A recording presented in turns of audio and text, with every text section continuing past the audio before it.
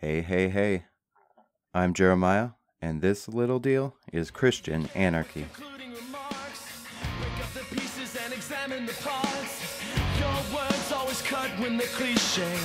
here's my because I came for the buffet. This is the way it goes when you are part of it. Nervously saying words, bent. A mark beneath the chin.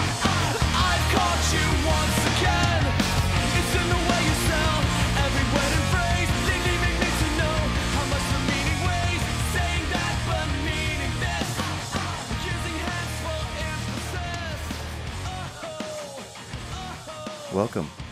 Hope you're having a wonderful day, and also hope listening to this podcast doesn't ruin it for you. Today, I would like to talk about slavery, and thus, I am going to. It is my podcast, after all. I have mentioned slavery in the context of anarchy and government a few times, but haven't fleshed out the comparison for y'all yet.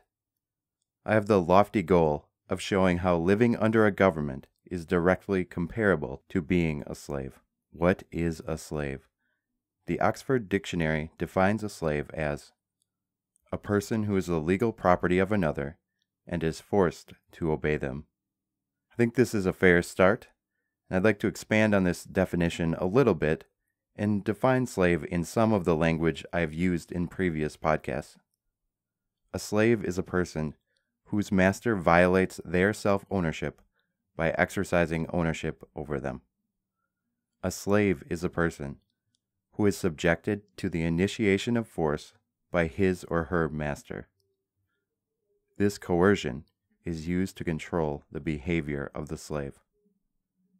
If you have listened to the past podcasts carefully, it may be immediately evident to you why I think a ruler's relationship to the people over whom they rule is directly comparable the master slave relationship.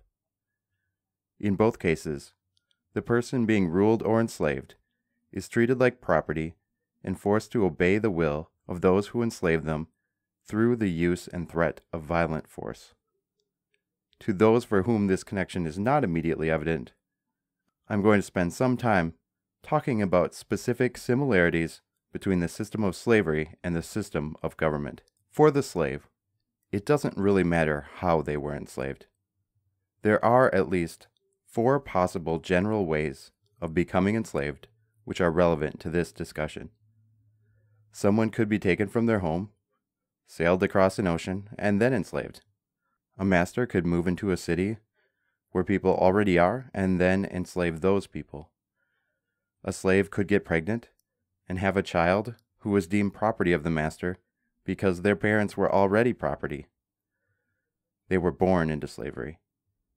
The fourth way is for someone to move into a region where people own slaves, and then, because they moved into the area, they were forced to become slaves. It doesn't matter how someone becomes a slave. The important issue is not the how. The problem is, these people were forced to become slaves in the first place. For the person subjugated under a government ruler, it doesn't really matter how they were subjugated. Whether the person was taken from where they were and forced to live under a ruler, already lived in a location and a government formed which ruled over them, were born into a place where they were ruled, or moved to a particular location, and then a government claimed the right to rule them, it doesn't matter. The issue is not how the person became a subject of the ruler. No manner of forcing people to follow a ruler is more ethical than another. The problem is that people were forced to live under a government. The evil of slavery and the evil of government are similar. Neither the slave nor the person under a government consented. The slave does not follow the master because they chose to. If they had, then they would no longer be called slaves, but free people who simply desire to do what a particular person tells them to. The reason it is called slavery is because they are forced to follow their master. It is the same with government. The reason people under a government are slaves to the government is because they have not consented to the government's rule and are forced to do what the government tells them to. In the case of both slavery and government rule, people follow what their masters and rulers tell them to because if they do not, they will be punished. The goal of the slave owner and the government is the same to force the people they rule to do what they would like them to do. Each person or organization exerts control using violence. The slave owner tells the slaves how he or she would like them to behave, and generally the slaves behave. Why would the slaves do this? They obey their masters because disobedience is met with violence. Among other things, slaves were imprisoned, beaten, executed, tortured, mutilated, and whipped as consequences for their disobedience. If a slave were to exercise self ownership, if a slave were to exercise their basic human rights without the permission of their master, they would be subjected to a violent punishment. Under these circumstances, faced with severe punishment for noncompliance, most slaves are going to choose to obey most of the time. Although choose might be a bad word to describe one who is put in a position of obey or be punished. These circumstances hardly involve choice at all. Government's rule is followed for similar reasons. If one does not do what the government tells them to, the person who is disobedient will be met with violent punishment. Like the slave owner does with slaves, the government will deliver their punishment with brutal, overwhelming force. Offenses the government considers to be most minor will be punished with a fine. The fine is parallel to the slave owner forcing the slave to work longer hours and get nothing in return. This is what a fine is for those under government work longer hours for your government masters and get nothing in return. The next step in government punishment is imprisonment. Like a slave who misbehaved, a person who does not do what the government wants them to is subjected to being imprisoned.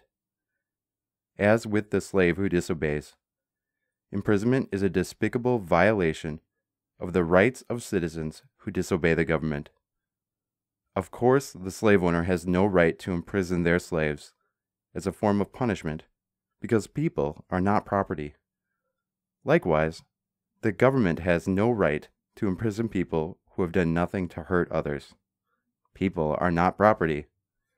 Citizens aren't property of the government which rules them. Slaves aren't property of their masters. If a slave tries to exert his or her rights by refusing to work on behalf of someone else, trying to run away, or otherwise seeking to avoid punishment, their master may very well kill them. They are causing more trouble than they are worth. In the same way, if a citizen chooses to exert their rights by refusing to be imprisoned and resisting those who come to imprison them, they will be killed.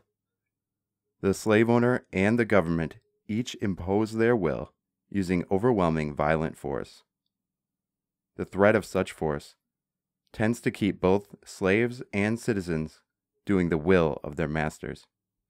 Neither the slave nor the one being ruled by government has the choice to move out from under their masters. In the case of a slave, they cannot leave without their master's permission.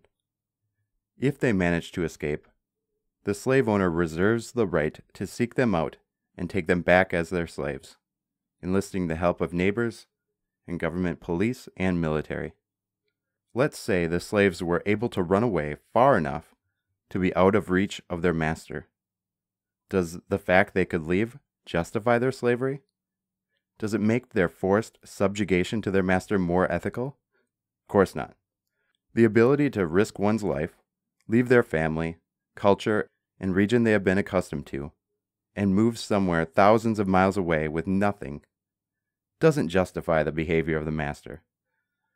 The only way slavery is just is if it is purely voluntary and the individual faces no consequence for choosing not to be a slave without having to move a thousand miles away.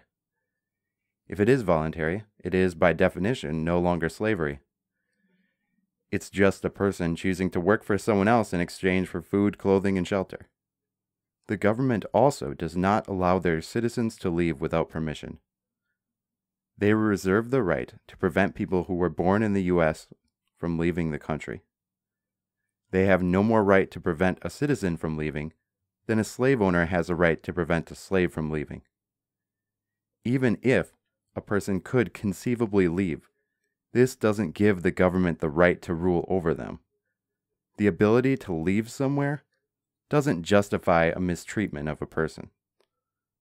Telling someone if they don't like the way you are treating them, then they can leave their family, job, culture, region, friends, home, society, and language is in no way an ethical argument which justifies government.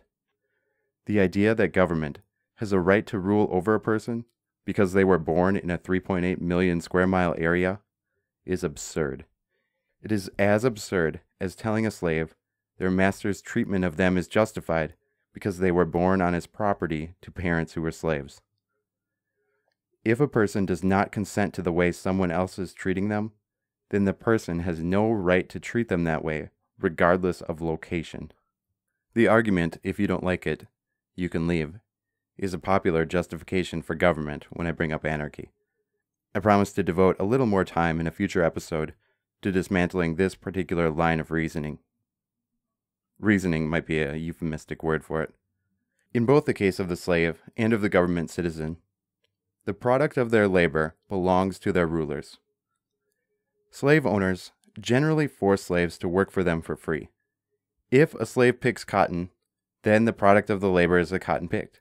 The owner takes all of the cotton the slave picks and sells it without compensating the slave for their labor. The slave owner claims ownership over what his slave produces. Government also claims ownership over the product of the labor of its citizens. Generally speaking, governments choose not to take all of the product of the labor of their citizens. However, in some cases, like communism, the government pretty much does take all of the product of its citizens' labor and then redistributes it to citizens whatever it thinks they need to survive. In the US, the rulers and government have found it is best to only take a certain percentage of the product of its citizens' labor. This has a number of advantages over taking all of the money the citizens make. It helps keep the citizens pacified and prevents revolt. If citizens can fill their needs and some desires with a percentage of the income the government doesn't steal from them, then they are more likely to stay in line and keep producing for the government. Taking a percentage of people's income also has the advantage of encouraging people to work more hours, work harder, and find more ways to make more money and they will get more money even if the government continues to take a percentage.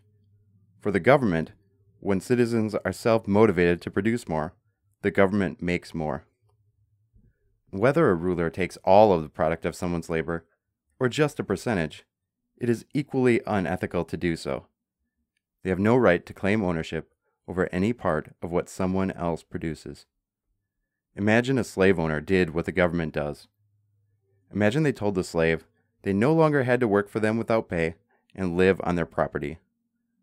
What if the slave owner told the slave they were free to live wherever they wanted and work whatever job they wanted with just a couple of caveats? The first is now the slaves would have to pay for their own living expenses. They would no longer have what they need to survive, provided by their master. The second is they would now have to send their master 50% of their income every month. If they didn't send their master 50%, he would come and find them and force them to work on his property again. If the master did this, would we then call the slave free? Few would have the heartless audacity to call a man living under these conditions free. Yet this is what the government does to its citizens, and oddly enough, most people say we're free. I want to address a few possible rebuttals to the comparison between government and slavery. I'm sure there are more than what I can come up with. And if you have more, I would love to hear them. One thing I suspect people might be thinking is how heartless I am for making such a comparison. How can I possibly make the case living under a government is as bad as being a slave? And I understand your concern if this is your thought process. I have been deliberate to not actually say living under a government is as bad as being a slave. I would much rather live under the US government in the 21st century than be a slave in early 19th century America. Truly, slavery was a horrific tragedy, and I don't want to undermine the pain these people went through. My plight and the plight of others who do not consent to the rule of government is not nearly as bad as the circumstances of slaves in early American history. I am not making the argument government is as bad as slavery, but government is wrong for many of the same reasons slavery is wrong. One may argue government provides services for its citizens in exchange for the money it takes from them. And this is true. The government does provide many things for the citizens which are helpful for them. It doesn't justify government. Does not become ethical to forcibly extract money from someone just because you forced a service upon them first. If McDonald's sends me food every day without my request, they don't have a right to charge me for it. They certainly don't have a right to use force to take my money. People don't have a right to do such a thing to other people. Such an action is ludicrous. McDonald's giving people something they never asked for in no way excuses or justifies taking people's money. This is what government does. They forcibly extract money from people and then provide services for them without consent. And masters also provide services for their slaves. Masters provide food, water, shelter, and protection for the people they own. These are all the things people need to survive. The masters enable their slaves to live. By no means does this mean that they should be praised for their provision. They should be criticized for making people slaves in the first place. Providing people a service doesn't give someone a right to take the product of their labor. Another possible rebuttal involves the democratic nature of the U.S. Slaves didn't get a vote to change their circumstances, but governments give citizens a vote to choose elected officials who they think will help them. People have a right to choose their elected officials, and so government's rule is justified because people get to choose their rulers. First, people don't really get to choose their rulers. If I got to choose my ruler, I would choose God and no one else. I would voluntarily submit myself to His rule and His desires for my life, but would reject the rule of any man or woman over me. Citizens are given a vote, one vote in millions, to have a tiny say in who rules over them. They don't even get the choice to vote for no one to rule over them. They must choose someone regardless of who they vote for. They are subjected to whatever ruler the majority chooses. They cannot simply say they don't consent. They are forced to obey said ruler. Enslaving someone by force, because it is the will of the majority, is just as bad as enslaving someone by force because it is the will of a singular slave owner. What if masters gave slaves a vote? What if slaves had a say in what master they had? What if they could choose between one of two masters, who might treat them better than their current master? This is hardly ethical. No one has the right to rule over another person. No one has a right to enslave someone and then tell them they can choose from a couple of people who they want to be their master. In no way would this justify the actions of a slave owner. The issue is not that the slaves don't have a choice in who their master is. The issue is they have been forced into a position where they must have a master. In the same way, no one has a right to put someone in a position where they must be ruled, even if they have some say in who rules them. Those are some potential arguments against my comparison I came up with. Again, if you have any more, I will gladly hear them and respond to them as best I can. One aside regarding slavery. Sometimes when I get into conversations with people about government, somehow the conversation gets to slavery. And I'm not sure if I bring it up or if they do, but one argument they make for government is to talk about the good things the government does and has done, like end slavery. Which, good for whatever governments eventually outlawed owning people. But governments were the cause of widespread slavery in the first place. This topic perhaps deserves an entire episode itself, but it is worth a brief mention here. In the U.S., slavery was written into their founding document. The Constitution itself declared slaves were subhuman. the law of the land justified slavery. State laws also made provisions allowing for slavery. These laws made slavery possible. Not only this, but slavery was subsidized by the government. There are some cases where when a slave ran away, the laws of the region declared other local men who didn't even own the slaves would have to be a part of a search party to help find the escaped slaves and bring them back to their master. Additionally, who do you call when someone runs off with your property? The publicly funded police. Everyone in the region is forced to pay the police, which means everyone is forced to pay for finding runaway slaves. The large plantation owners did not have to bear the massive financial burden of finding slaves who ran away because the government subsidized it. This makes owning slaves much more cost effective for the rich. Furthermore, slaves couldn't run to someone's home who objected to slavery to find safety. If a slave ran to my house, I couldn't really say they could stay there under my protection because I would be faced with overwhelming force and the slaves would be taken back to their masters anyway.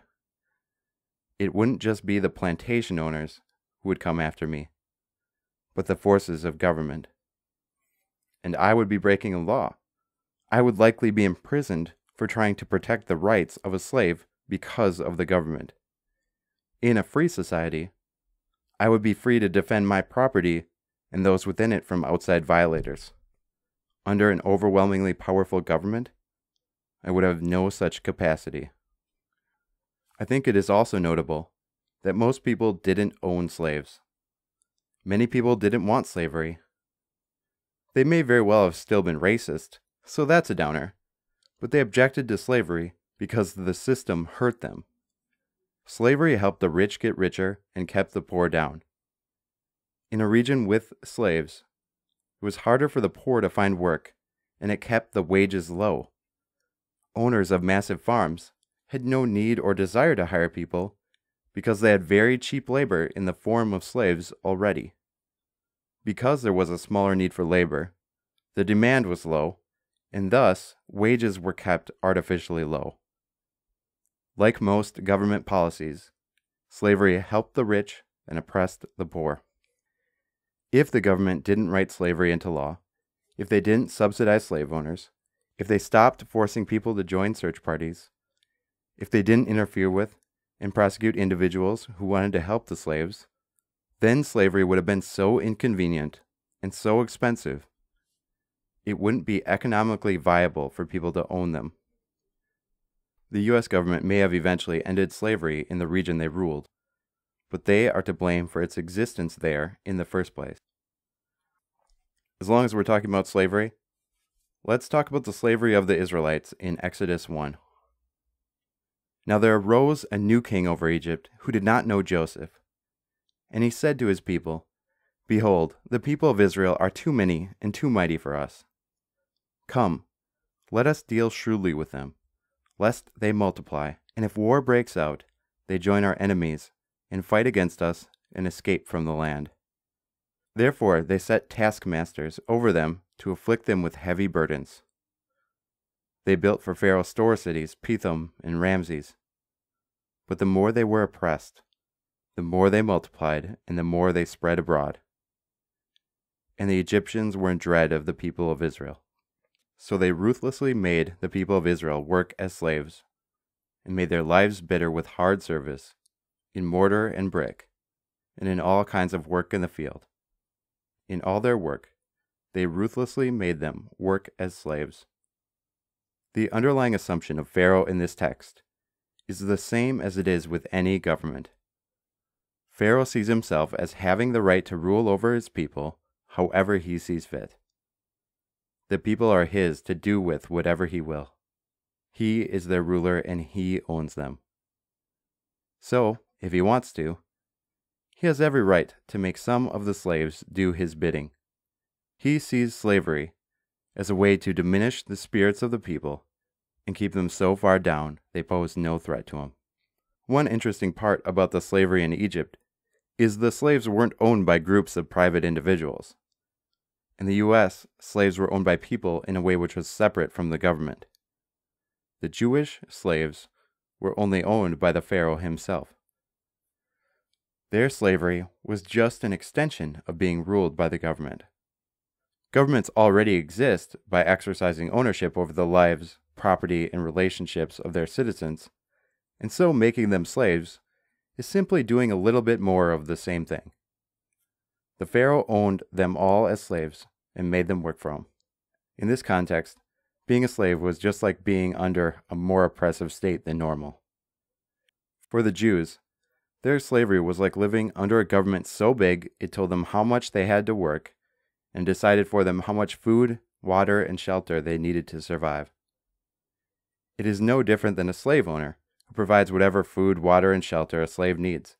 It is also not fundamentally different than what any government does through taxes, forcing people to work on their behalf for free, and deciding how much they need to live on by determining their tax rate. The slave is just like any citizen living under a cruel government. God doesn't like the idea of people living under such a domineering regime. He hears the cries of the people of Israel, and he develops a leader named Moses to work with. Eventually, through a series of crazy events and miracles, God, through Moses, convinces the very obstinate Pharaoh to let the people of Israel leave Egypt so they can be free. Pharaoh allows his slaves to be free from his rule and Moses leads the Israelites out of Egypt. Along the way, they have some troubles. Soon after they leave Egypt, Pharaoh comes after them to get them back. Apparently, he had some time to think about his actions and realized the aliens who taught him how to build the pyramids needed some slaves to do the labor. So he takes the Egyptian army and pursues the recently freed Israelites. When the people of Israel saw the approaching army of Pharaoh, they say to Moses, Is it because there are no graves in Egypt you have taken us away to die in the wilderness? What have you done to us in bringing us out of Egypt? Is it not this what we said to you in Egypt? Leave us alone that we may serve the Egyptians? For it would have been better for us to serve the Egyptians than to die in the wilderness. This is the response of a beaten down and broken people. If you recall, the reason Pharaoh made them slaves in the first place was because they were becoming so numerous he was afraid of them. The people of Israel, even when faced with Pharaoh's army, were not some helpless small group who had no hope of winning their freedom. But fighting against Pharaoh didn't even cross their mind. Their spirit was broken by the oppression of their ruler. In their moments of fear, they wanted slavery more than they wanted to be free. At least as slaves, they knew what to expect. The life had become, in a sense, comfortable to them, more comfortable than struggling for their own freedom. The Israelites became so accustomed to being ruled by Pharaoh, they would rather live under his rule than venture into the unknown and deal with the problems which arise from being free. At least when you're subjugated to an overwhelmingly powerful ruler, you're safe as long as you do exactly what he tells you to. As slaves, they could be somewhat confident they would get to keep their life. But God knew being a slave is no kind of life to cling to so tightly. God understood their victim mentality given their years in slavery, and He did another miracle to save the Israelites from their enslavers. He opened up the sea he didn't require Israel to fight, or run, or hide, or do anything except walk. Just walk on dry land away from Pharaoh. God met them where they were at in their despair and put them in a position where they would never have to worry about their enslaver again. The struggles of Israel didn't end there, however. Just a few chapters later, they are again bemoaning their freedom. They are starting to get hungry and concerned because their food supply is running low in the middle of the wilderness. And so, rather than come up with a solution to their problems, still retaining the shattered spirits of their slavery, they complain once more. They talk about how much better it was for them in Egypt. Exodus 16 2 through 3 relays this story. And the whole congregation of the people of Israel grumbled against Moses and Aaron in the wilderness. And the people of Israel said, Would that we had died by the hand of the Lord in the land of Egypt, when we sat by the meat pots and ate bread to the full. For you have brought us out into the wilderness to kill this whole assembly with hunger. This is a classic case of misremembering. They seem to fondly recall lounging by the meat pots and eating bread to the full. Hey guys, you were slaves. Sitting was something you did for two seconds before you got out of bed in the morning to go work for your master. Your memory is faulty if you think you were just sitting around and eating all day. Even though you labored every day, you still only received as much food as your masters wanted you to. Conveniently, these slaves who wanted to go back to Egypt when things got difficult forgot a lot of the bad parts of their enslavement. They forgot they were so oppressed they cried out to God to save them. And the reason they are out of Egypt in the first place is because of their request. They neglected to mention the whippings. They forgot about the endless labor. They failed to bring up the fact that Pharaoh was having all of their newborn sons put to death. All they remember is they knew where their next meal was coming from. At this moment, when they are unsure, slavery is appealing. When things are hard outside of slavery, Israel wants to go back in. Why? How can these people be so insane as to long for the days when they worked without pay and their children were murdered? I think a big part of it is they were just so used to their lives as slaves, any change felt dangerous. They were so broken as a people, so familiar with being ruled, they found it difficult to imagine how life would work if they were no longer under the thumbs of their masters. The truth is, there are a lot of benefits to being a slave. Yes, I'm being serious. When Israel was enslaved in Egypt, they knew they would be fed. Obviously, their work was valuable, and their masters would want to keep them alive, so they knew the Pharaoh would feed them. And Israel wasn't free to worship their own God in their own time, but their master was kind enough to give them the many gods of Egypt to praise and pray to. Yeah, they were tyrannically ruled by Pharaoh, but at least he protected them and kept them from being invaded by a worse ruler who would oppress them even more. Thank goodness for that. And it is true the people of Israel were whipped like cattle to get them to do more work. But for the most part, their overlords didn't whip them to the point of death. They were gracious enough to keep them alive so they could keep working. And sure, their sons were murdered at birth. But Pharaoh did let them keep their daughters, and their daughters could be married off to Egyptian men so they could continue the line of descent. There is tremendous comfort in knowing what to expect and how to survive. The Israelite slaves had such comfort when they were in Egypt. When faced with circumstances they were unsure how to deal with, they wanted to go back to what they knew, even though what they knew was their own enslavement. So many people I know are afraid of what would happen in a world without government. It's what they're accustomed to. It's the world they live in. They grew up under it. They know where their next meal will come from. They are habituated to a life under their rulers. It may not be perfect, but it's better than the alternative. To them, it's better than the unknown of freedom. Their human spirit is diminished, such that they accept the violation of their rights. They accept their basic human dignity being debased in exchange for knowing what to expect. Sure, government tells us where we can go, what we can put into our own bodies, what types of relationships we can have with each other, how much of our own income we get to keep, what we get to spend our money on, what we can do with our own property, what kind of businesses we can start. It creates barriers to employment, encourages poverty, creates terrorists, gives the richest people monopolies, among some other negative things. But hey, it could be worse. At least they protect us from being ruled over by an even more oppressive regime.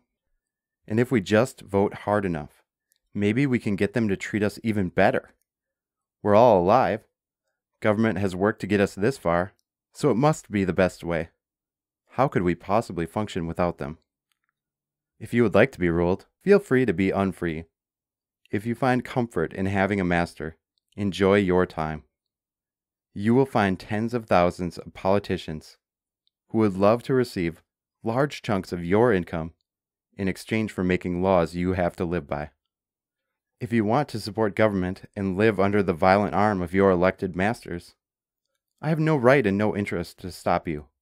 But don't impose your rulers on others. If you support government in its current form, you are not only choosing to be a slave yourself, but you have become a slave master. You are supporting and putting in power the very people which violate the rights of others, the very people who claim ownership over others. You are supporting people like me, people who do not consent to government's claims of ownership over them, being enslaved by the state. To support government is to support the initiation of violent force against me, even when I have done nothing to hurt others. It is to support other people owning me without my permission, just because of where I was born. Be ruled if you would like, but don't support a system which forces others to be ruled. Speaking of slavery, I have been working hard to provide you with clear and bold content, and no one has paid me a dime. Come on, people. Please, everyone in earshot, gather up all of your dimes and send them to me. This is tough stuff to think through and articulate, and you're probably not going to hear it anywhere else. And what a unique experience, you lucky dog, you. I'm poor. This podcast costs money. Quit making me your slave by listening without paying. In all seriousness, if you are listening still, thank you. I appreciate your time, and I hope you appreciate mine. Some have already asked me if there is a way to donate to the show. The answer is now yes. You can go to www.christianarchy.net and visit the How Can I Help page. If you would like to donate, please do, but feel no obligation to do so. I'm not trying to guilt you or any bull like that, and I will continue to do this podcast regardless.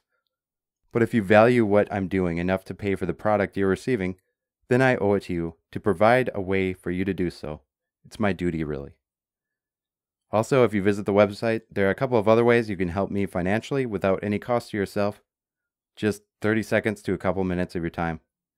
I promise not to annoy you by bringing this up very often, but I wanted to just mention it briefly here. I may never bring it up again. Anyway, if you want to contact me, my email address is jeremiahjm at gmail.com, and you can contact me in some other ways if you visit the website. I'll be back next week to talk about pacifism, nonviolence, minimal violence, and oh yeah, anarchy. Enjoy your week. Peace out. Light my way into the dark.